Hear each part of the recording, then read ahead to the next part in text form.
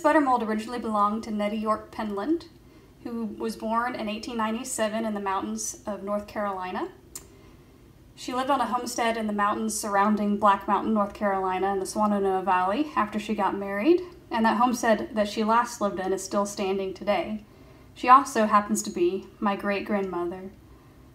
I recently inherited this butter mold, and based on the leaf, palm leaf style pattern on the bottom, it looks like it was probably from between 1900 and 1949, which would overlap with her butter churning and molding years. So to bring this butter mold back to functioning order, I'm going to just simply add a little bit of oil on it. I have olive oil on hand, but you can use mineral oil, coconut oil, anything of that ilk, just to add a little bit of moisture back into the wood and protect the wood, especially before we add butter to it. I've already wiped off the any dust that may have been on here as it had been sitting over the years. Um, so now I'm just going to simply add a little bit of olive oil to my fingers, or you can do it on a cloth, and work it into the wood.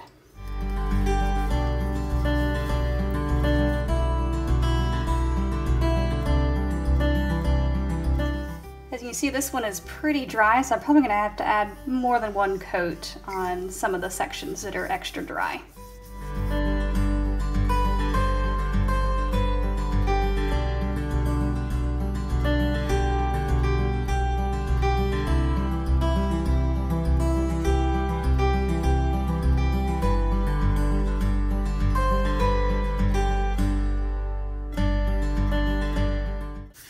Going to wipe off some of the excess oil on here with a paper towel and then just allow it to soak into the wood before I use it.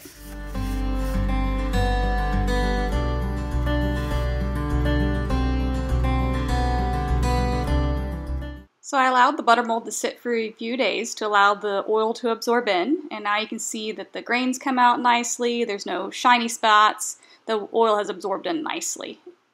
And now it's ready for making butter.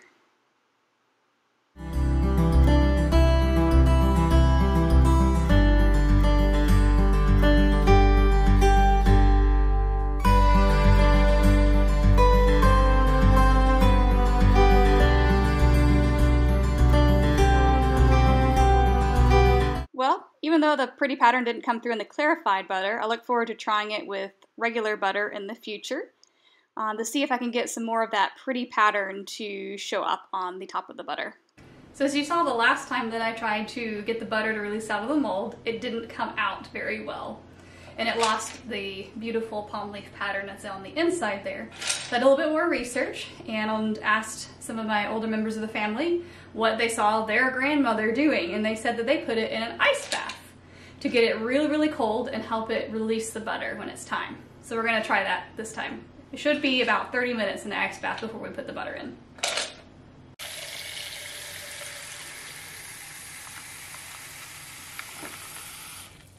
All right, it's been about a half hour, so we're gonna take out our mold here.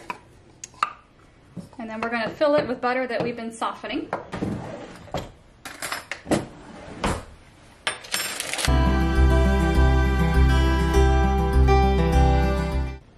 Unfortunately, our kitchen is on the cold side, so it's not softened quite as much as it would say in the summer. But we don't have heating or air conditioning in this room, so it's a little bit firmer.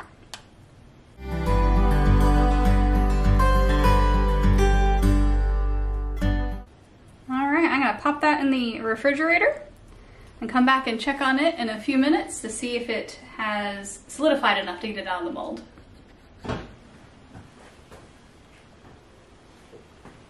All right, it's been about an hour. We'll see if it comes out.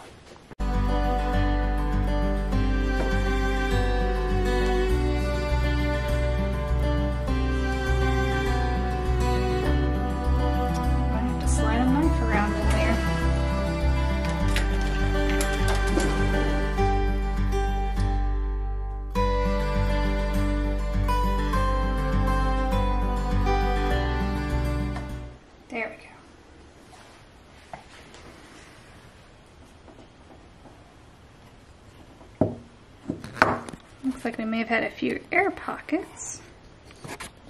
Let's see. We got a little bit more of the pattern this time. I think next time we'll need a slightly softer butter to get it all the way into the pattern. But we're getting closer. All right, so we tried it last night and we couldn't get it on there and we thought maybe the butter was too solid. So we melted it in the microwave for about 15 seconds and we put it in there. We're gonna try it again and see if releasing it when it's softer will keep the pattern.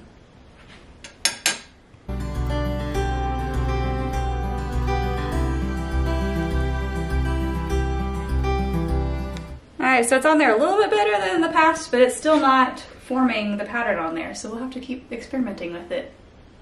Alright, so we tried refrigerating it for just a little bit to make sure it's not too soft this time, and hopefully the pattern will stick.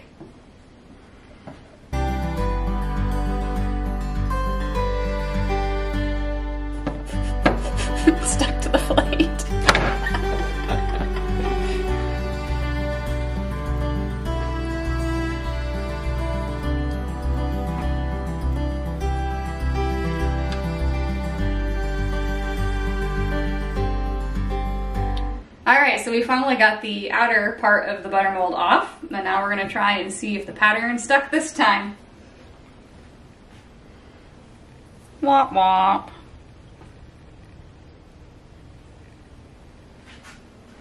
We'll have to keep experimenting and see if we can figure out how my great grandmother did this. Our attempts at the butter mold revealed one of the reasons why we are so passionate about preserving traditional skills and restoring the lost knowledge of daily life. History books and textbooks document dates, names, and events, but are sorely lacking in the how department. How did they get that bit of butter on their toast pre battle? How did they mend that hole in their sock while exploring the wilderness? Preserving history can look like restoring historic sites, building museums and archives, but we also need keepers.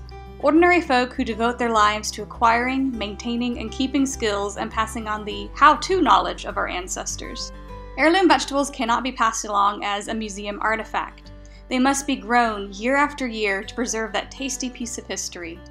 A delicious paradox that in order to preserve heritage, you have to eat it. You can become a link in the preservation chain by seeking out and purchasing heirloom fruits and vegetables, meat from heritage breeds, or handcrafted items. Next time you watch someone cook a meal from scratch without a recipe, or knit a hat, or plant an heirloom seed, ponder the ways you're watching heritage in action.